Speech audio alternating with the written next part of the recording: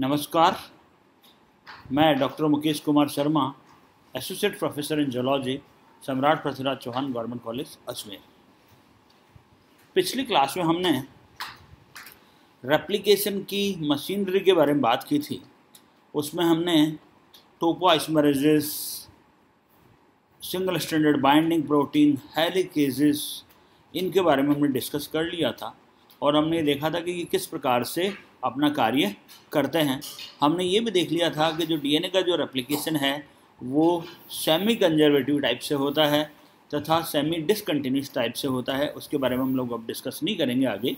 अब हम आज है ना जो, वाकई में डीएनए रेप्लिकेशन के लिए कौन से एंजाइम रेस्पॉन्सिबल होते हैं और क्या उसकी मैकेनिज्म होती है, उसके बारे में हम डिस्कस करेंगे। तो सबसे पहली बात हम यदि रेप्लिकेशन का ओवरव्यू देखें बेसिकली ओवरव्यू में क्या क्या उसको रिक्वायर्ड होती है क्या क्या रिक्वायरमेंट होती है, उसमें यदि हम देखें तो सबसे पहले जो रिक्वायरमेंट होती है डीएनए रेप्लिकेशन में, वो होती है डीऑक्सीराइबोन्यूक्लियोटाइड्स की, सबसे पहली बात। दूसरी बात डीएनए टेम्पलेट की, यानी डीऑक्सीराइबोन्यूक्लियोटाइड्स जो आपके न्यूक्लियोटाइड्स हैं, उनकी ज़रूरत होगी हमको।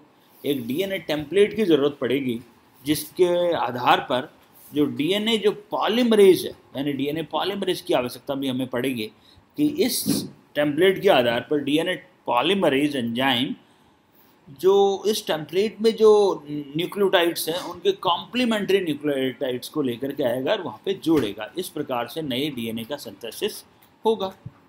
फिर देन इकोलाई में जो डीएनए पॉलीमरेज ये बड़ा इंपॉर्टेंट एंजाइम है। इकोलाई में पाँच प्रकार के अलग अलग डीएनए पॉलीमरेजेस पाए जाते हैं। उनके बारे में हम डिस्कस आगे करेंगे कि वाकई में वो पॉलीमरेजेस किस तरह के होते हैं और क्या उनका फ़ंक्शंस होता है, उसके बारे में हम लोग डिस्कस करेंगे आगे। तो यदि हम यूकैरियोट्स में देखें, यानी मैमल्स में स्पेशली तो मैमल्स में भी पाँच अलग अलग प्रकार के डीएनए पॉलीमरेजेस पाए जाते हैं। फिर हमें किसकी ज़रूरत होगी? प्राइमर प्राइमर यानी रेप्लिकेशन स्टार्ट करने के लिए हमें छोटा एक डीएनए खंड की आवश्यकता डी एक छोटे खंड की आवश्यकता होती है। बेसिकली वो आरएनए होता है आरएनए का खंड होता है, जिसके three dash O H end को आपका डीएनए पॉलीमरेज एक्सटेंड करता है, यानी five dash to three dash direction में सिंथेसिस वो करता है। तो हमें एक को किसकी ज़रूरत है प्राइमर की आवश्यकता है, ठीक है? अब ये जो डीएनए रेप्लिकेशन होता है ना, ये बड़ा इंपॉर्टेंट होता है, ठीक है?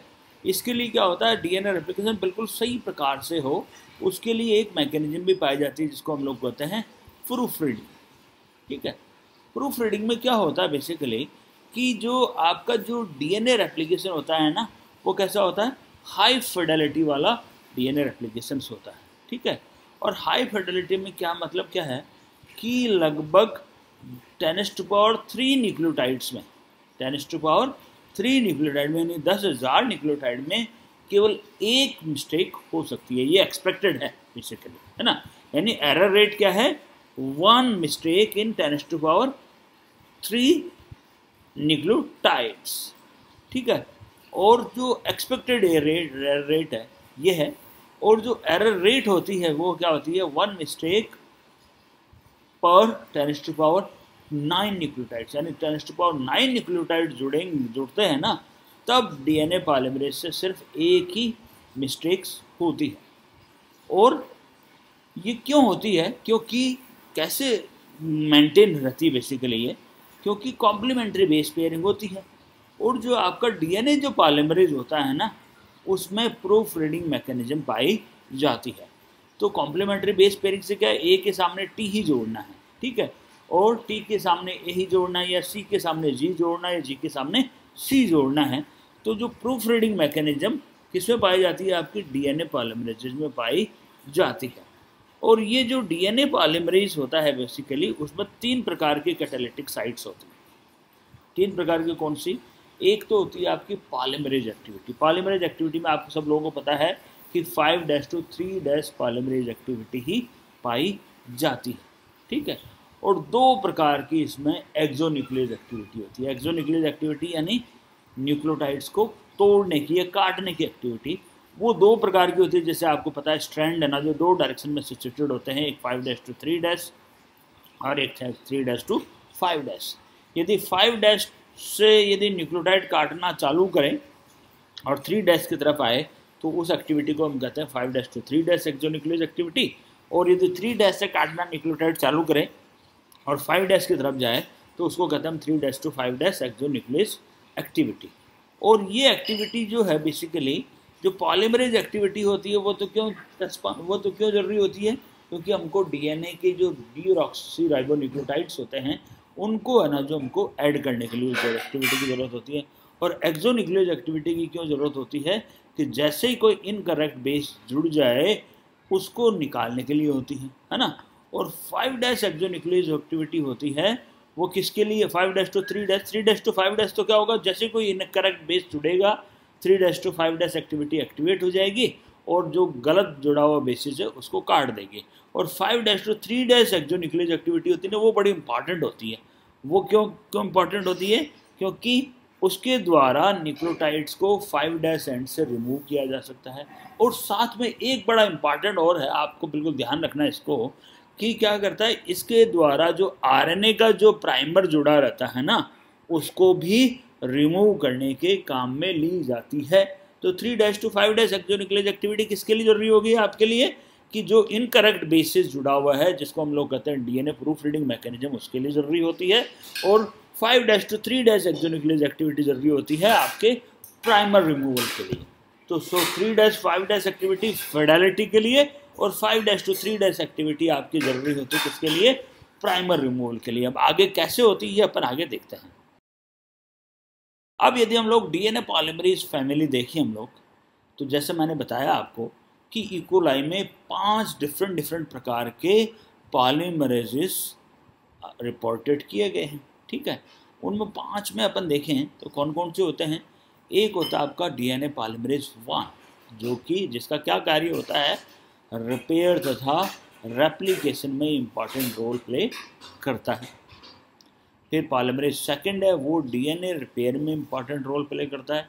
और ये पता कब लगा? 99 में 1999 में क्या हुआ? इसका पता लगा कि डीएनए रिपेयर में ही इंपॉर्टेंट रोल प्ले करता है। तीसरा आपका एंजाइम है डीएनए पॉलीमरेज थर्ड ये मुख्य डीएनए रेप्लिकेशन एंजाइम होता है।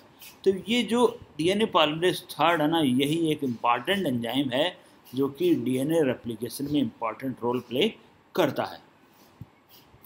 टी एल पॉलीमरेज फोर इसकी डिस्कवरी 1909 में हुई और ये भी ऐसा माना जाता है कि डीएनए रिपेयर में इंपॉर्टेंट रोल प्ले करता है। Then D N A polymerase five ये भी है ना जो डीएनए रिपेयर में इंपॉर्टेंट प्ले करता है और इसकी भी डिस्कवरी 1909 में हुई। और आज तक लगभग चौदह डिफरेंट टाइप के डीएनए पॉलीमरेजेस की की, को रिपोर्ट किया जा चुका है किसमें? यू कैरोट्स में। तो यू कैरोट्स में डिफरेंट फोर्टीन प्रकार के पॉलीमरेजेस को रिपोर्ट किया जा चुका है और प्रो कैरोट्स में आपके पाँच डिफरेंट डिफरेंट प्रकार के पॉलीमरेजेस को रिपोर्ट किया जा सकता है, किया जा चुका है, जिनमें आपके DNA polymerase second fourth and fifth ये है ना जो आपके केवल डीएनए रिपेयर में इन्वॉल्व होते हैं, जबकि फ़र्स्ट रिपेयर तथा रेप्लीकेशन में, और third again DNA replication enzyme होता है, ठीक है? तो प्रिंसिपल जो डी डीएनए रेप्लिकेशन एंजाइम वो तो थर्ड है और फ़र्स्ट एंजाइम भी रेप्लिकेशन में इंपॉर्टेंट रोल प्ले करता है। तो अभी हम लोग है ना जो डीएनए पॉलीमरेज फ़र्स्ट और थर्ड के स्ट्रक्चर के बारे में हम लोग पढ़ेंगे। इस स्लाइड में हमको ये दिख रहा है कि किस प्रकार से इकोलाई में रेप्लिकेशन फॉक बनी हुई रहती है किस प्रकार से डिफरेंट डिफरेंट एंजाइम्स इसके ऊपर जुड़े हुए होते हैं। यदि ये हम देखें तो क्या है बेसिकली कि ये देखिए आप, ये आपका डीएनए पॉलीमरेज थर्ड है, ठीक है, जो कि डायमेरिक फॉर्म में होता है, ठीक है। ये आपका लीडिंग स्टैंड है, जिस पे सिंथेसिस कंटिन्यूस होता हुआ जा रहा है, ठीक है?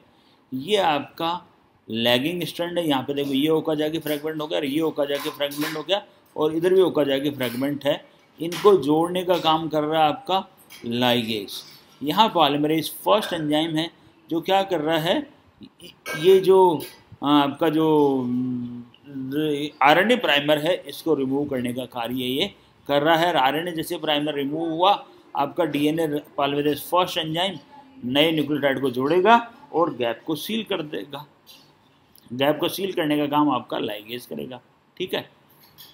इधर आपकी ये सिंगल स्टैंडर्ड बाइंडिंग प्रोटीन इसके ऊपर बाइंडेड है, ठीक है? जिसके दो डोमेन मैंने बताए थे आपको, उसके द्वारा जुड़ी रहती है। यहाँ पे आपके हेलिकेजेज है, जो क्या कर रहा है? इन ये जो दोनों जो डीएनए के स्ट्रेंड्स है, उनको सेपरेट करने का कार्य ये कर रहा है। और ये आपका जो डी डीएनए गायरेज एंजाइम है, जो कि टोपो आइसोरेज एंजाइम है, ये क्या कर रहा है? ये टोटल जो फोर्स जो बन रहा है यहाँ पे इंड्यूस हो रहा है, यानी यहाँ पे जैसे ही खुलता जा रहा है, ये जो दोनों स्ट्रेंड है ना, इनके ऊपर बल लगता हुआ जा रहा है, और उन बलों को रिमूव करने का काम कौन कर रहा है आपका? टोपो आइसमरेज एंजाइम या डीएनए गायरेज एंजाइम तो इस प्रकार से क्या हो रहा है? रेप्लिकेशन फॉक है ना, आपकी इस तरह मूव करती हुई जा रही है, और ये जो डीएनए पॉलीमरेज थर्ड और थर्ड आपका लीडिंग स्टैंड पर लैगिंग स्टैंड पर सिंथेसिस करता हुआ जा रहा है साइमल्टेनियसली लैगिंग स्टैंड पे छोटे छोटे खंडों के रूप में सिंथेसिस करता हुआ जाता है और लीडिंग स्टैंड में कंटिन्यू सिंथेसिस करता हुआ जाता है. और प्राइमेज एंजाइम क्या करता है? प्राइमेज एंजाइम ने लीडिंग स्टैंड पर तो एक बार एक प्राइमर बना दिया, एक प्राइमर बना दिया, जबकि लैगिंग स्टैंड पर प्राइमेज एंजाइम क्या करता है? छोटे छोटे बहुत सारे प्राइमर इसमें बनाता जाता है. यानी हर खंड के पहले एक है ना जो प्राइमर इसमें बनता है, यानी प्राइमेज एंजाइम क्या कर रहा है, आपका प्राइमर का निर्माण कर रहा है, जो कि आरएनए प्राइमर होता है। अब हम जो प्राइमरी पॉलीमराइजिंग एंजाइम्स हैं, जिसको हमने कहा डीएनए पॉलीमर फ़र्स्ट और second polymer first and third के स्ट्रक्चर के बारे में हम लोग पढ़ेंगे। हम लोग केवल डीएनए पॉलीमर फ़र्स्ट ही लेंगे। ये एंजाइम क्या बेसिकली बहुत ही टैलेंटेड एंजाइम है। बहुत ही टैलेंटेड एंजाइम है ये। और ये एंजाइम सबसे पहली बार डिस्कवर हुआ। ठीक है? यानी सबसे पहला जो एंजाइम था, वो डीएनए पॉलीमरेज फ़र्स्ट एंजाइम था जिसकी डिस्कवरी हुई। इसकी बहुत सारी एक्टिविटीज़ होती है। ठीक है? लेकिन ये मोनोमर के फॉर्म में ही पाया जाता है। है ना? और इसके बहुत सारे फ़ंक्शंस होते हैं। ये सारे जो फ़ंक्शंस होते हैं, इनके अलग अलग डोमेन्स के द्वारा परफॉर्म ये होते हैं, ठीक है? और अलग अलग डोमेन्स का कैसे पता लगता है? यदि हम प्रोटियोलाइसिस करें, यानी प्रोटीन्स का ब्रेकडाउन करें, उसके द्वारा हमें पता चलता है कि इसमें दो प्रकार की चेन्स पाई जाती है, एक होती है आपकी लार्जर सेल और दूसरी आपकी स्मॉलर चेन उसके बारे में हम पढ़ रहे हैं आगे। तो कैसा पहला जो डीएनए पॉलिमरेज डिस्कवर्ड हुआ और इसके प्रोटियोलाइसिस से दो प्रकार की चेन्स का निर्माण होता है। पहले कहा हमने लार्जर सेल, जिसको हम लोग कहते हैं क्लीन ऑफ़ फ्रैगमेंट। ये बड़ा इंपॉर्टेंट फ्रैगमेंट है बेसिकली, ठीक है? और इसका जो मॉलिकुलर वेट होता है सिक्सटी एट किलो डाल्टन इसका मॉलिकुलर वेट होता है। बहुत बार इस जो क्लीनो फ्रेगमेंट है, इसका क्वेश्चन आता है बहुत बार। एमएससी में भी आता है और बीएससी में भी क्लीनो फ्रेगमेंट के बारे में इसमें पूछा जाता है, भाई क्लीनो फ्रेगमेंट क्या होता है और किस का ये एक किस एंजाइम का एक इंपॉर्टेंट पार्ट होता है। तो ये जो क्लीनो फ्रेगमेंट है ना, इसमें क्या होता है, इसका जो सी टर्मिनल है, जो कि इसका दो बटा हुआ तीन हिस्सा बनाता है, इसके अंदर क्या होता है five dash to three dash polymerizing activity होती है, एक बात दूसरा, इसका जो एन टर्मिनल बार्ट है, जो कि एक बटा हुआ तीन हिस्सा बनाता है, उसमें three dash to five dash exonuclease activity होती है। ठीक है? तो जो इसका जो क्लीना फ्रेगमेंट है, उसमें पॉलीमराइजिंग एक्टिविटी होती है और साथ में three dash to five dash exonuclease activity होती है। यानी क्या हो रहा है? ये क्या कर सकता है? Three dash to five dash dash की तरफ़ न्यूक्लियोटाइड्स को रिमूव ये कर सकता है। जो इसकी स्मॉलर जो चेन होती है ना, ये बड़ी इंपॉर्टेंट है।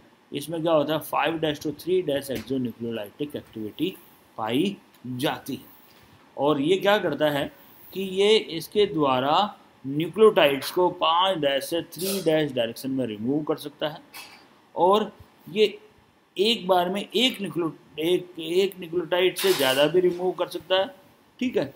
और ये क्या करता है, दोनों प्रकार के जो सुगर्स है, उनको है ना जो रिमूव कर सकता है, यानी डीऑक्सी को भी और राइबोस शुगर को भी, ठीक है? अब जो राइबोस शुगर है ये बड़ी इंपॉर्टेंट है, जैसे मैंने बताया आपको कि राइबोस शुगर किसमें होती है? आपके आरएनए प्राइमर में होती है। और प्राइमर है ना, जो आपका आरएनए का बना हुआ होता है तो उन शुगर को रिमूव करने का काम कौन करता है? आपका डीएनए पॉलीमरेज फ़र्स्ट और उसकी स्मॉलर चेन है ना, जो उन जो राइबोस शुगर है या प्राइमर है, उसको रिमूव करने का काम भी करती है। और ये बेसिकली कहाँ एक्टिव होता है? ये एक्टिव होता है आपके जो स्टैंड पे देखो निक लगा हुआ हो, जहाँ पे एक फाइव डैश फॉस्फेट उपस्थित रहे, वहाँ पे ये एंजाइम जुड़ करके और न्यूक्लियोटाइड्स को रिमूव ये करता है। ये इसके स्ट्रक्चर है, ठीक है? इसमें स्ट्रक्चर में क्या है आपका? कि ये तो पॉलीमरेज एक्टिव साइट से देखिए आप यहाँ पे, ठीक है? और यहाँ पे इसकी इस जगह पे three dash exonucleoside activity active होती, ठीक है? और इसकी जो स्ट्रक्चर हम यहाँ पे देखें तो ये क्लीन ऑफ़ फ्रेगमेंट है, जो कि डीएनए पॉलीमरेज फ़र्स्ट से निकाला गया है। इसमें इसकी आपको स्ट्रक्चर दिख रही है। तो आज के लिए हम लोग इतना ही लेंगे। आगे का हम लोग आगे की क्लास में डिस्कस करेंगे। धन्यवाद।